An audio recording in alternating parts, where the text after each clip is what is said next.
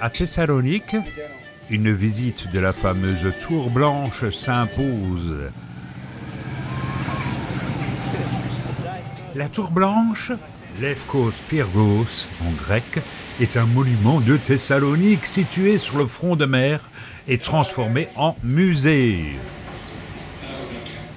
Je vous mets en garde, car certaines portes sont très très basses. Oui. Et la tour actuelle remplace une ancienne fortification byzantine déjà citée au XIIe siècle et reconstruite par les Ottomans pour renforcer le port de la ville. Elle devient une prison célèbre et le lieu d'exécution de masse durant la période ottomane. Elle a été rénovée lors de la reprise de la ville par la Grèce en 1912. Elle a été adoptée comme le symbole de la ville. Sur la plateforme crénelée, on découvre le panorama de la ville, avec l'ancien château, Castro, et la marina moderne, qui a pas grand charme, à vrai dire. Peut-être le bateau qu'on avait vu.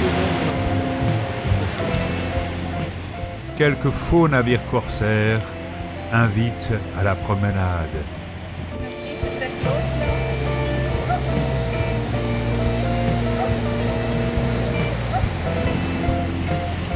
Et quelques porte-conteneurs mouillent dans le port.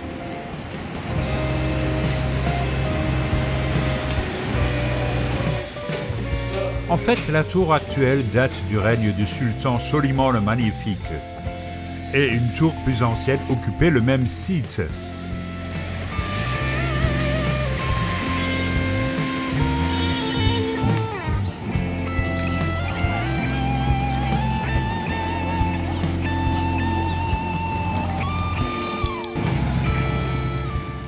Il y a quelques promenades agréables à faire sur le quai et devant cette tour blanche que nous allons quitter maintenant.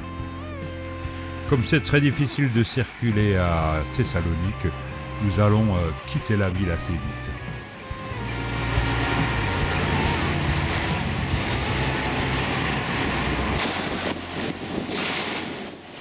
Et nous allons terminer notre séjour du côté de Peraya, la plage de Thessalonique, de l'autre côté de l'aéroport.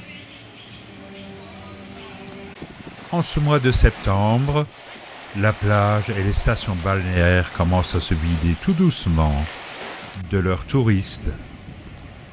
Et coquillages et crustacés sur la plage abandonnée se retrouvent tout seuls.